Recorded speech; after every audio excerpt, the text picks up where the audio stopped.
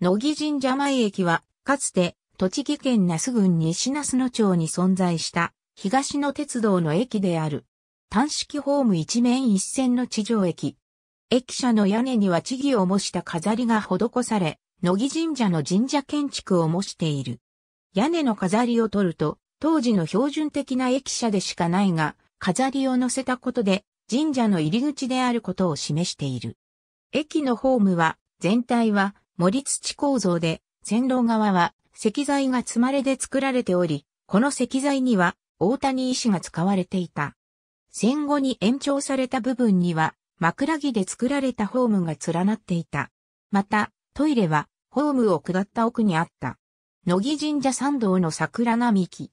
王子の駅舎は左側の参道西側に、現在のモニュメントは右側の参道東側に位置している。廃線時まで乃木神社参道との踏切には X 字型の標識があり、クロッシング、デンジャー、レールロードなどの英語で注意書きが記載されていた。また、ビー玉のようなガラス玉が X 字型の腕木に多数はめ込まれていて、夜間にも反射してわかるようになっていた。この標識は戦後の新中軍の設置したものが廃線時まで残存したものである。実際の駅跡地付近にある汽車のモニュメント廃線後、駅舎は解体されてなくなり、駅名標は参道を挟んだ民家の前に残されていたが、数年後に亡くなった。ホームは森土部分が徐々に削られてなくなり、数年後には大谷石の部分だけが残っていた。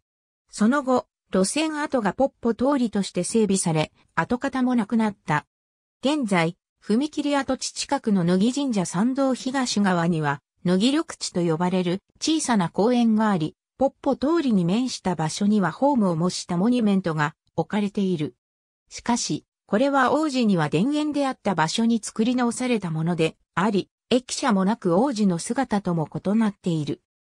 文献によっては、モニュメントの場所が駅の跡地であると受け取れるような記載をされる場合もあるが、正確には王子の乃木神社駅ホームは、現在ホームのモニュメントが設置されている、乃木緑地とは参道を挟んだ蓮向かい側にあたる、参道西側にあり、位置は異なっている。実際の駅跡地付近には汽車を模したモニュメントが設置されている。